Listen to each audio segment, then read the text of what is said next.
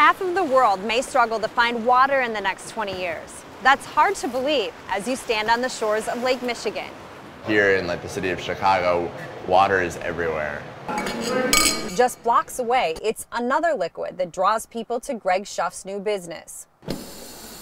12 weeks ago, he opened Dry Hop Brewers in Chicago, where each week he makes three varieties of his specialty craft beers. All the water for the beer comes in through this pipe right here.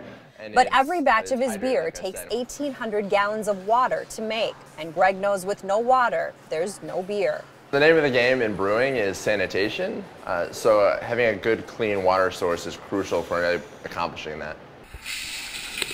That's why Greg works to save water and to recycle it. One way is by taking water used in the brewing process and using it again for other jobs like cleaning tanks or washing floors.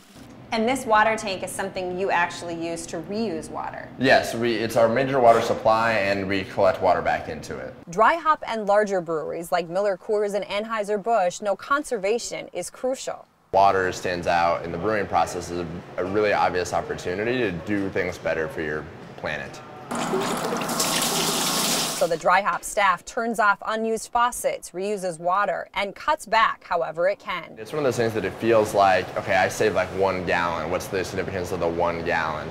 And it's one of those things we need everyone to save one gallon. So everyone has to do their small part in whatever way they can, and then it has a big effect. It's a big impact on what could be a big problem as pollution, population growth, and climate change threaten our water, and in turn, one of America's favorite drinks. In Chicago, I'm Janelle Klein, reporting for the Weather Channel.